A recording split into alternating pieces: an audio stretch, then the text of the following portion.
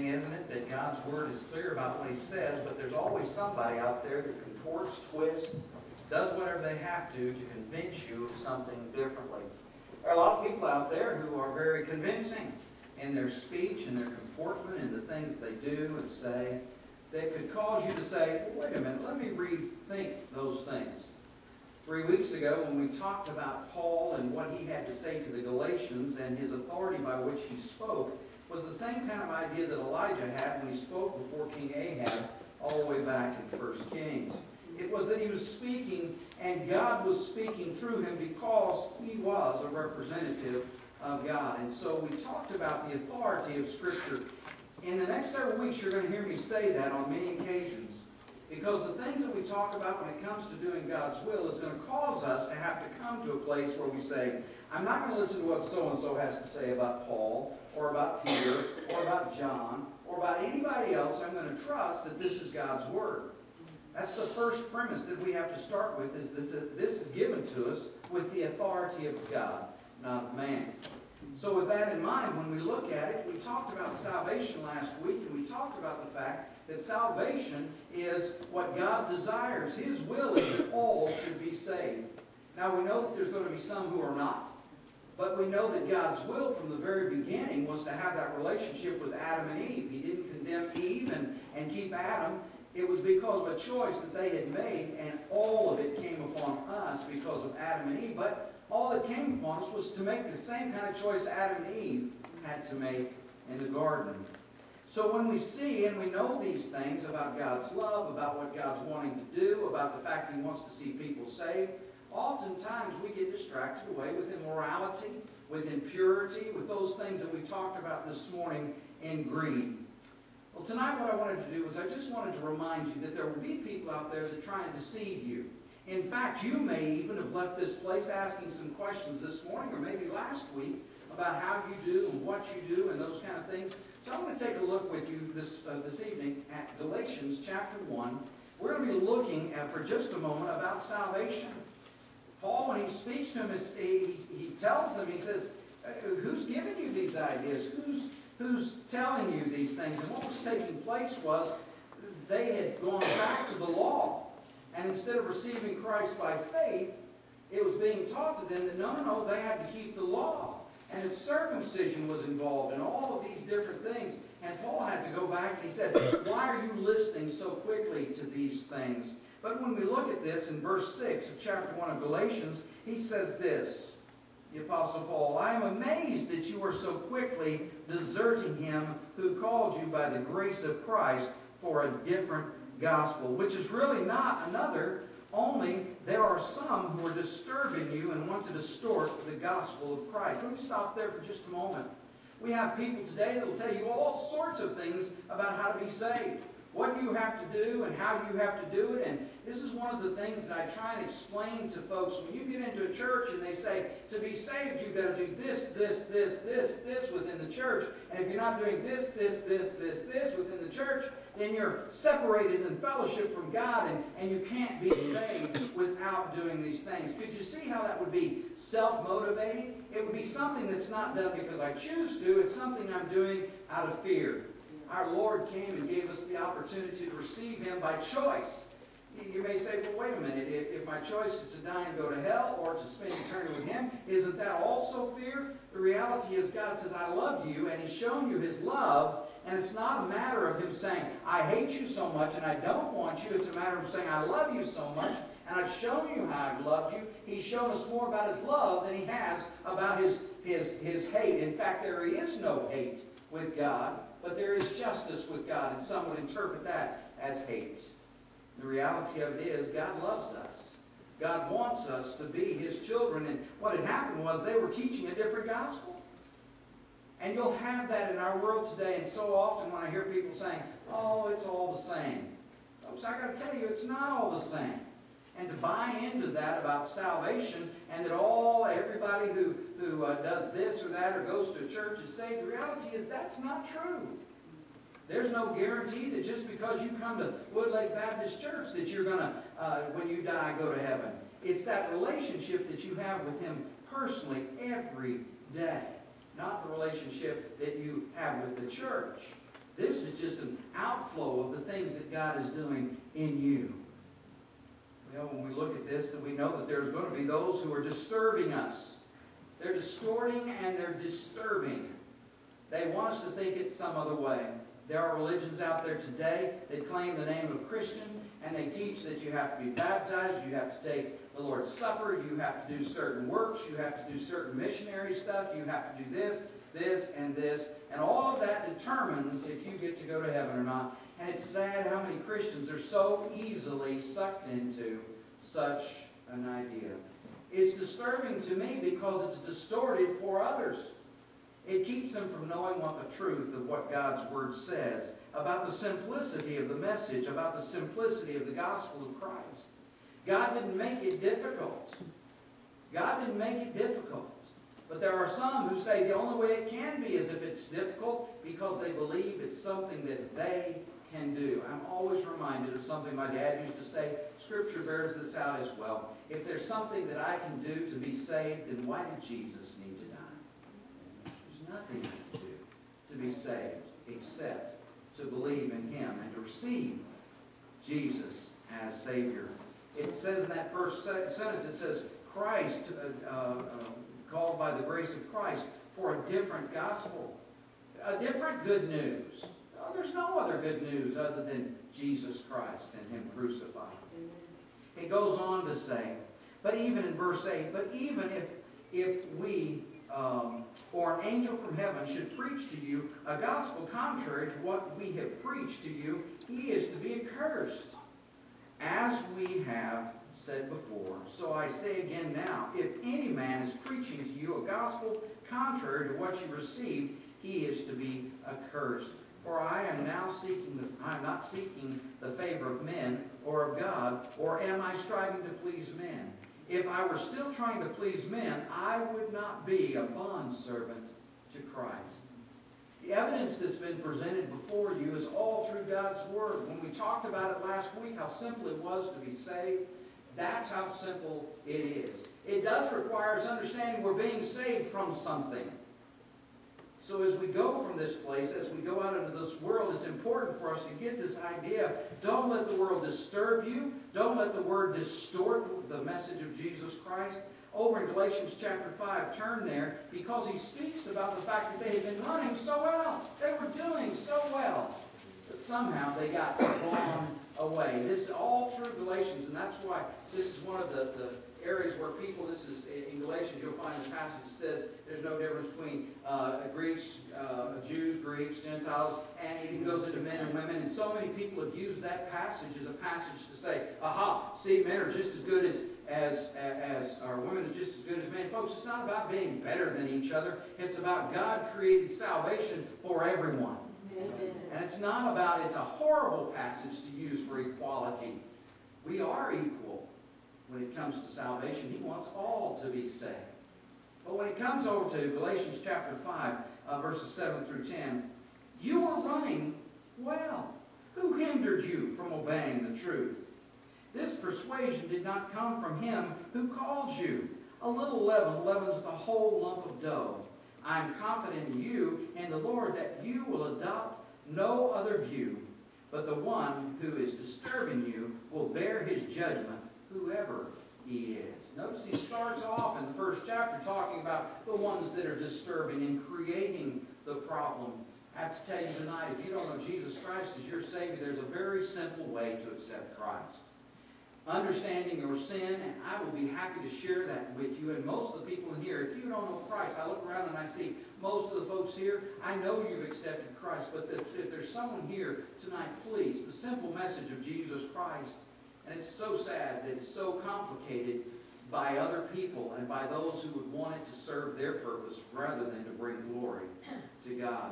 So when it comes to salvation, know that there are going to be those who try and distort, those that try and, and uh, uh, create problems about the message of Jesus Christ and to create disturbing things in you as they do that. So please keep that in mind. That's why it's important for you always to remember what God's will is for mankind is their salvation. And there will be those who try and distort it, as Satan did in the Bible uh, in Genesis from the very beginning.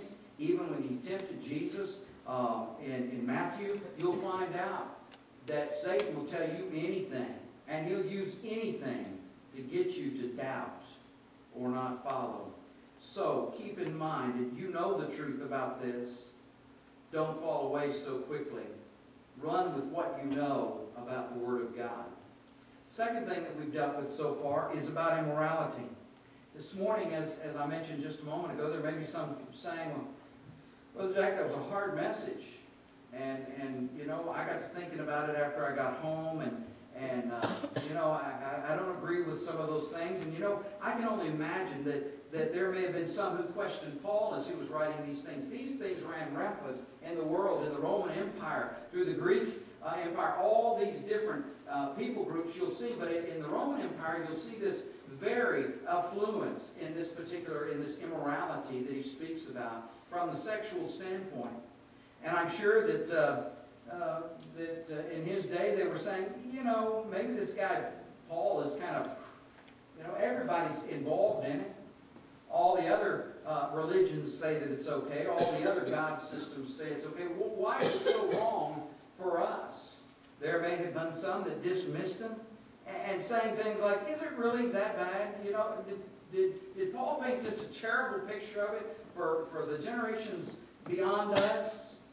Uh, as I told you this morning, I was looking through some stuff from back in the 1960s and 70s from churches and stuff like that, and, and it was interesting because some of the very things they were talking about, you know, uh, the generations to come and how bad they were going to be and how bad it was in their generation, and, and, and it, it couldn't get any worse. And I was sitting here going, oh, wow, if they could only see today. I was around in 69, and I remember some of those things, and some of you were too. And, and I remember that there were preachers that stood up, and even the testimony of some of the things stood up and talked about how terrible the world was in 1969, 1967, 1970. And, and I remember some of those things, and I'm sure some of you do as well. But if they were to see us today, my goodness, what would they say? Boy, we made a mistake. We made a mistake. Well, it's interesting because when we look at today and, and everybody gets so acclimatized and so um, uh, acceptant of the things that are going on around us, but the reality of it is, do you realize things we talked about this morning? You realize there's over 70 passages in the Old Testament and the New Testament that works and defines all these things as well, that identifies the same thing as Paul. It's not like Paul has this, this uh, uh, thought about sexual immorality or about immorality in general. It's not that he's saying, okay, I'm the only one that has it. All through God's Word it speaks about these things. The impurity that we talked about, the deadness of the things that we talked about. But it's interesting because this morning as we discussed it, we never came to verse 6. Look at verse 6 in Ephesians chapter 5. Leaving the idea of salvation and understanding the simplicity of it that God has put forth, let's also give a clear understanding to what we see about immorality and about those things. Because there will be those people who, just as those who would trying to distort salvation, would also try and distort the things that God has said, stay away from these things, because as we are, are, are desiring to be filled by the Spirit, the things that fill us, uh, uh the things that the Spirit fills us with, don't coexist with immorality, with impurity, with those things. You may be saying, well, then I'm just doomed. And the reality of it is the only way that you can get past this is not in your own power, but in the power of Christ through His Spirit, allowing Him to work through you. And here's what He says about those things in Ephesians chapter 5, verse 14. Let no one deceive you with empty words. I want to stop there for just a minute because there would be some, as in Paul's day, there would be some here today that, that would leave here and say, wait a minute. Brother Jack just doesn't know, or I've got some friends who are telling me this, or I've got other people who think this, and, and all these other kind of things. And we try and redirect our thought processes instead of dealing with what God's Word teaches us and says. It says, don't be deceived. Just as Paul was saying, I'm amazed you're so quickly deserting. What happened to you? Well, as Christians, we need to ask that same question. In verse 6 again, let no one deceive you with empty words. For because of these things, the wrath of God comes upon the sons of disobedience. This morning we talked about those things. Don't be deceived about what? Immorality, impurity, about greed, about silly speech, silly talk, about uh, coarse jesting, filthiness, the things that we say out of our mouth. Don't let someone say, oh, that's not so bad. That's not so bad. According to this, the Bible tells us that we ought not to be deceived by those empty words that tell us it's okay. It's okay. God's Word says it's not okay.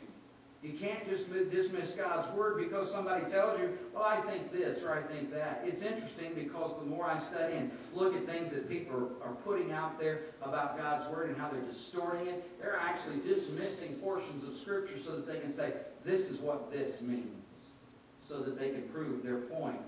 And oftentimes Christians don't know the Word well enough to be able to say, wait a minute, what about this? Or what about that? I think as Christians we ought to be able to deal with these things and to at least be able to speak intelligibly about them so that the world knows who we belong to. In verse 7, it says, Therefore do not be partakers with them. Don't agree with them. Don't stay silent about it. Sometimes we say, well, you know, Brother Jack said that we shouldn't do that, so instead of looking bad or something, I'm just keep my mouth shut. Don't be a partaker with it. When you keep your mouth shut as a Christian, what you're basically saying is you're giving assent to it without saying a word. You're agreeing with it. As Christians, we ought not to be agreeing with what the world has to say or what the world thinks, especially when God's Word is so clear on these things. These things are hard teachings for us because these things are very prevalent in our world. We have people that are saying, you're just being mean if you don't accept this and don't accept that. You're just being mean if, if, if uh, in, Christ, in Christianity, mind you, that if you don't allow this to take place and sin is okay in church, I got to tell you it's not. Scripture tells us that it's not. And so when we see this, it says, don't be, don't be deceived with empty words. Because of these things, the wrath of God will come upon these who would say those things. Don't be a part of those who agree with it. Don't say, well, you know, let me fight that battle. Let me, let me see and, and let me make those decisions, especially when God speaks so clearly about this. Therefore, do not be partakers with them. For you were formerly darkness, but now you are light in the Lord. Walk as children of the light.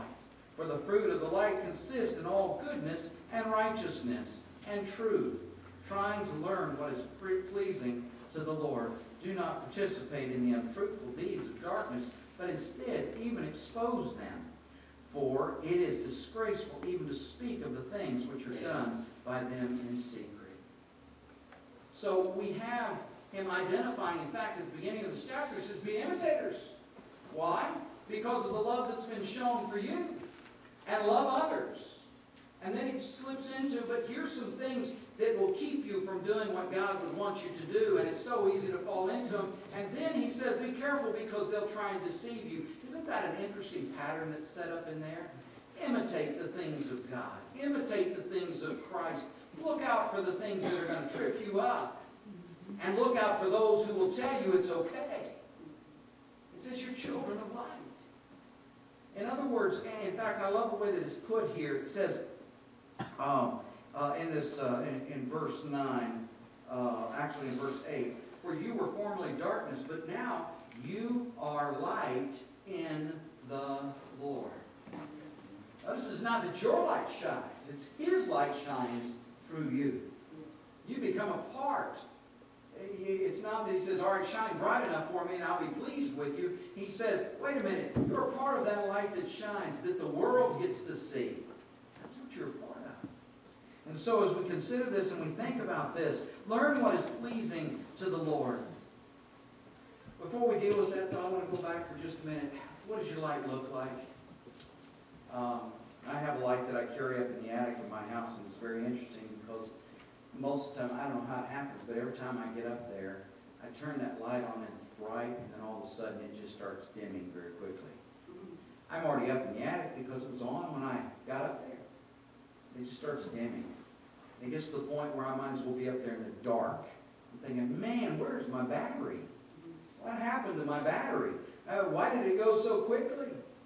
The key to it is, as Christians, our light is not found in batteries produced by us. It's found in who Jesus Christ is. This is why John in 1 John, when he's, uh, or in John, uh, the Gospel of John, when he's talking about Jesus as the light, being that light to the world, the, the rejected one. But it's talking about that light. That light doesn't go out. That light is always always on. This is why it's so important that as Christians we live in the knowledge of the light that we have is His light through us. And this is why we ought to consider our ways and consider why we do what we do. Why, when it comes to these things, we ought not to listen to what the rest of the world has to say so that we justify what we want to do. You know, he says this, he says the, the fruit of the light consists of all goodness and righteousness and truth.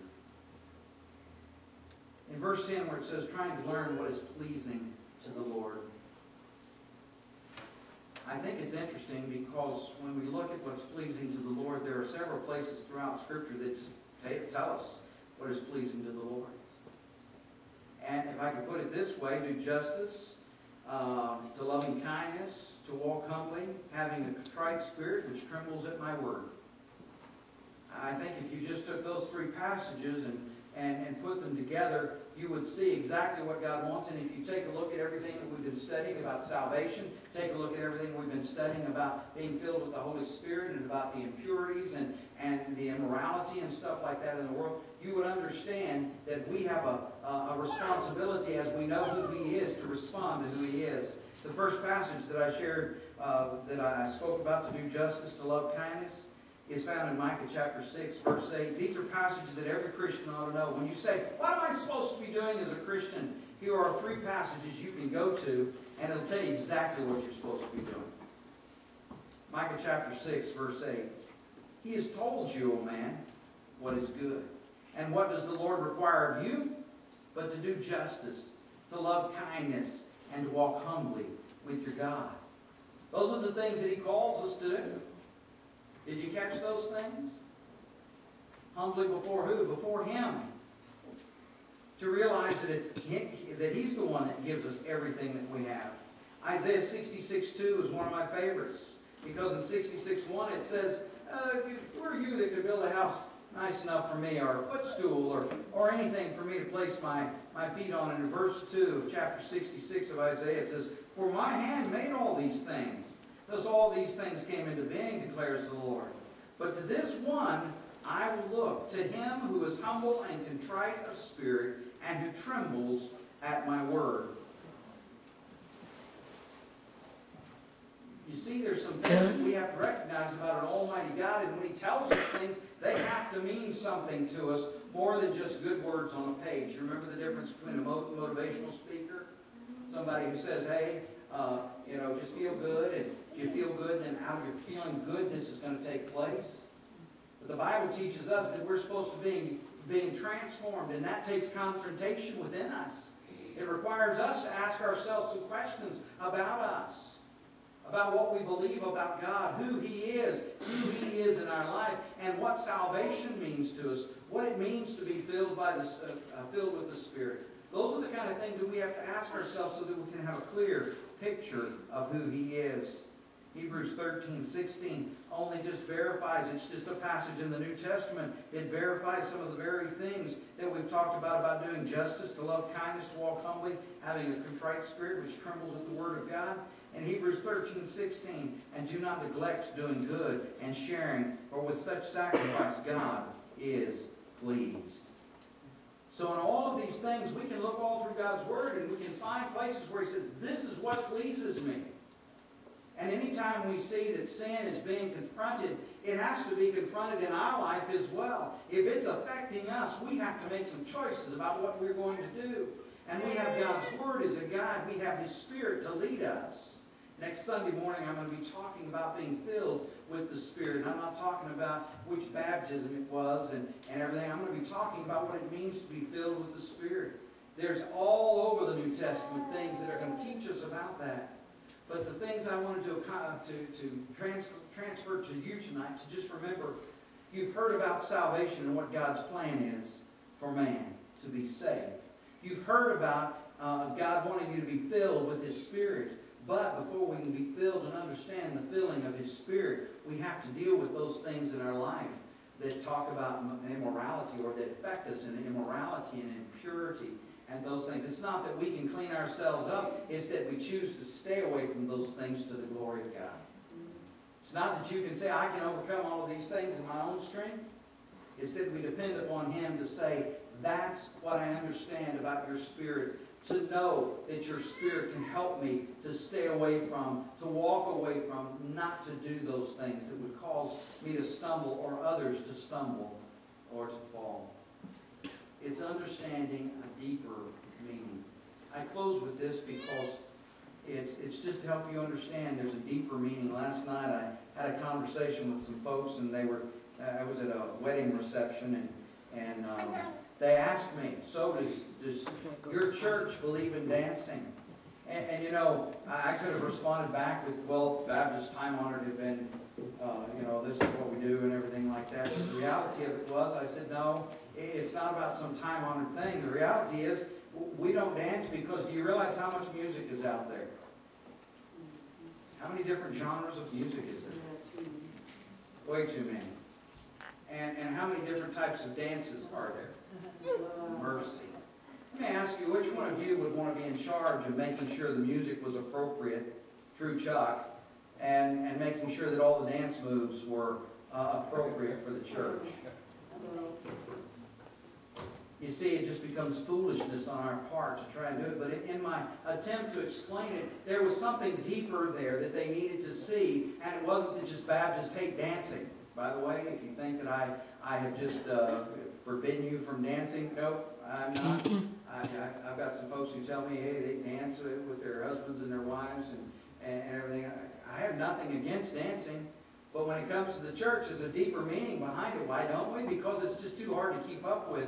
And God has us about doing other things like reaching people for Jesus Christ. And so that's why. It has nothing to do with Brother Jack hates dancing. I remember having to go through all that. But you see, God wants us to have a deeper understanding of His things so we understand why we do it, not so much that we just do it. I'm saved. You know why you're saved? Well, yeah, somebody told me I was. What's the deeper meaning of it? God wants you to know about your salvation. God wants you to know about these impurities, these immoralities, these things so that you can stay away from them and understand the deeper meaning. Not just that we hate people who are immoral. Remember what we talked about this morning? God said, wait a minute, the world will be judged. And, and they're going to be judged by me. But within the body, we're supposed to do that here. And we're supposed to do what's right here. Why? Because we're Christians. When we have these understandings, these deeper meanings, it helps us to understand we're not just being a bunch of jerks trying to be mean to people. It's that God has a standard for His people to follow. For those who claim the name of Jesus Christ, the world isn't going to follow that standard. That's why we show ourselves to be and to belong to Him instead of to the world. So as I close with this, I hope in these series of messages about uh, the will of God in your life, I hope that you will get some deeper meaning from them rather than just a shallow understanding that Baptists think this way or that way. Or that Brother Jack hates this person or that person. I got to tell you, Jesus Christ didn't hate anybody, neither his Father. The Bible says he desires that all should be saved. And that means that if there's anybody out there that I hate, God doesn't hate them. Who's wrong? Me some deeper understandings that I think as Christians we need to absorb into ourselves and begin to live to the glory of God. Tonight as we close this message, I hope and pray that you'll have a confidence knowing that you are going to be attacked and people are going to say, hey, uh, if you don't believe correctly, I hope that you can go and, and demonstrate in your faith and in your walk that I do know what God's Word says. Not because Brother Jack says so, but because God's Word says so. Just as I shared with you this morning, this may sound like uh, I'm trying to condemn or, or to make you upset or anything like that. I have to tell you, all I can do is preach the message of Jesus Christ. And if these things are, are contrary to what you do and what you think, please, it's not an argument between you and I.